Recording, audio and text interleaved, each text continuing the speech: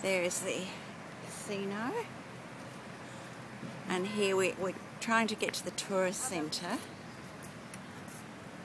so we can find the palace. And Rich and Renza have no idea I'm videoing them. They wouldn't be happy about this.